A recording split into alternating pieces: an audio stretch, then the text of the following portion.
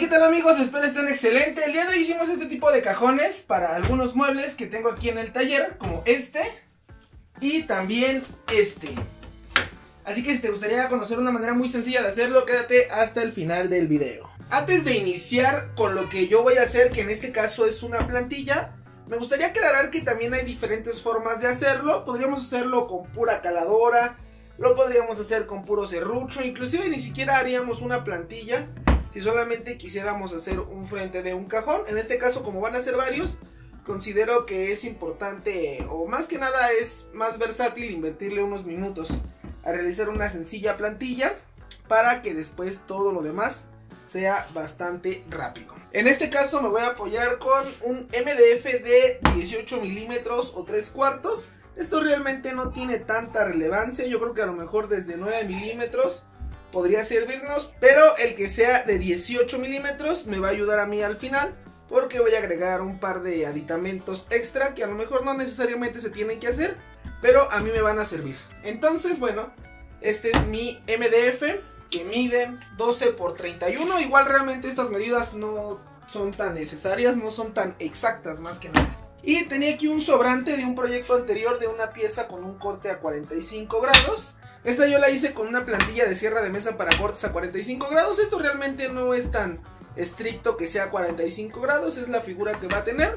Ahora, yo de esta pieza necesito dos. Entonces vamos a cortarla a la mitad.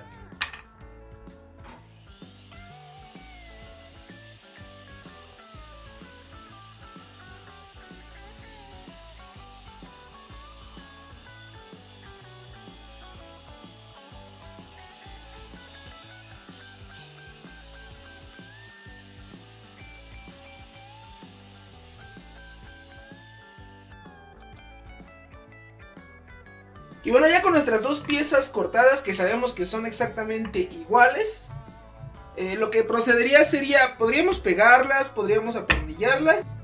En este caso yo las voy a clavar para más rápido. Pero aquí es importante definir qué espacio queremos para meter nuestros dedos. En este caso yo le quiero dejar 10 centímetros. Esto igual va a depender también, si nuestros cajones no son muy largos, pues puede que se vea mal. Una ranura muy grandísima o a lo mejor muy chiquita si los cajones son muy largos. Entonces esto, como les digo, es a consideración de cada quien. En este caso, como les digo, yo voy a dejar 10 centímetros. Igual es algo aproximado, no tiene que ser tan estricto. Le voy a poner dos clavitos.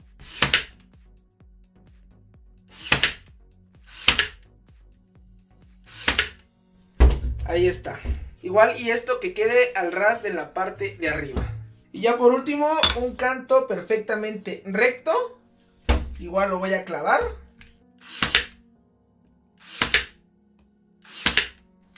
Ahí está. Esta es la idea principal ya de nuestra plantilla. Ya se le empieza a ver forma.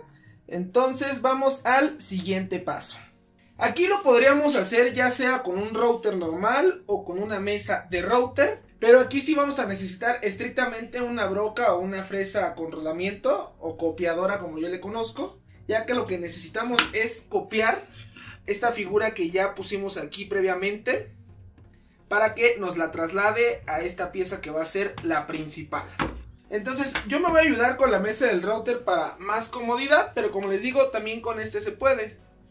En este caso como el router que voy a ocupar es un router potente, no necesitaré remover previamente algo del material, ya que por ser igual MDF no creo que le cueste mucho trabajo poderlo remover. Si fuera un router de palma, ahí sí sería estrictamente remover lo más que se pueda.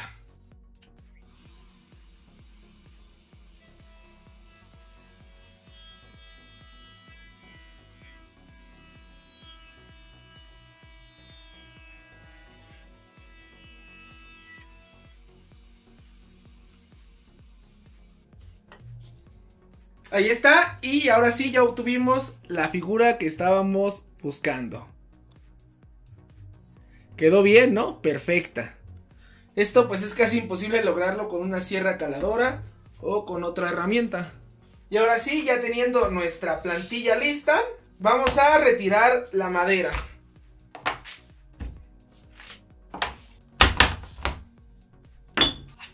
Y ahí está, ¿no? Quedó bonita. Ahora el siguiente paso es encontrar el centro de esta pieza para que igual nuestros cajones queden centrados. En este caso como la hicimos de 10 centímetros, mi centro es 5.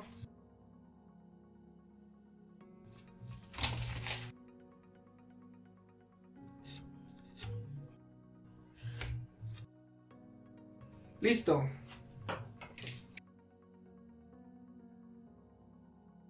Bueno, y a lo mejor más de uno se podrá preguntar, ¿vale la pena realizar una plantilla para poner el frente de un cajón? Y probablemente la respuesta sea no. Para uno no. Para tres quizá. Pero en este caso, realicé la plantilla porque no voy a poner nada más una. Sino que estos son seis frentes de un mueble. Estos son otros tres. Y tres más. Entonces vamos a hacer 12 ranuras y con una plantilla me va a facilitar muchísimo, muchísimo el trabajo. Lo primero a considerar, en este caso voy a empezar con esta, es cuánto mide nuestra pieza. En este caso es de 59 centímetros. Marco una línea en la mitad, en este caso vendría siendo 29.5. Y apoyándome con una escuadra, la voy a estirar un poquito hacia abajo. Nada más para hacerla coincidir con la plantilla. Ahí está. Ya que coinciden perfectamente los cantos de arriba, trazo una línea. Y eso es lo que vamos a remover. Me voy a ayudar de la caladora para tratar de remover lo más que se pueda sin llegar a la línea.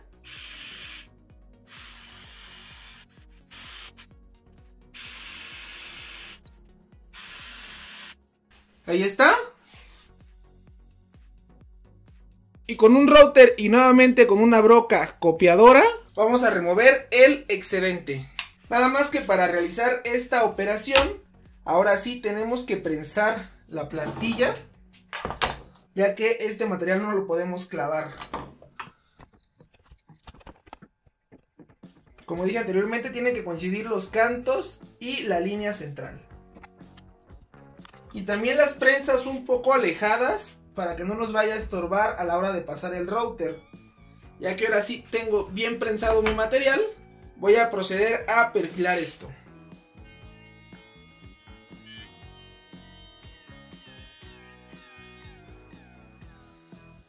Ok, aquí no contemplé algo y es que mi broca no llega hasta abajo. Esto no genera ningún problema ya que como tengo una referencia, ahora la broca se va a recargar o va a pasar sobre esto que ya desbasté perfectamente.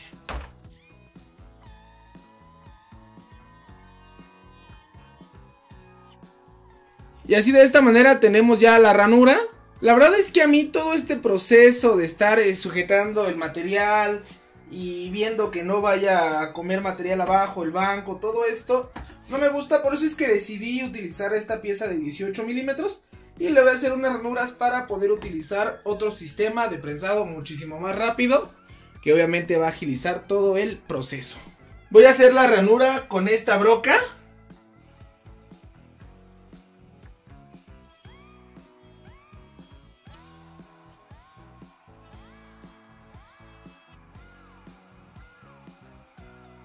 Y así es como quedó la plantilla.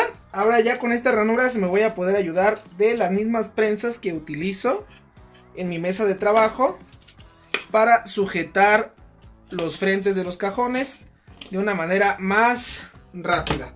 Lo único que voy a tener que hacer es ubicar todos los centros, prensar y fresar con la broca copiadora. Y ahora sí, ya con todo listo, vamos a proceder a hacer las ranuras.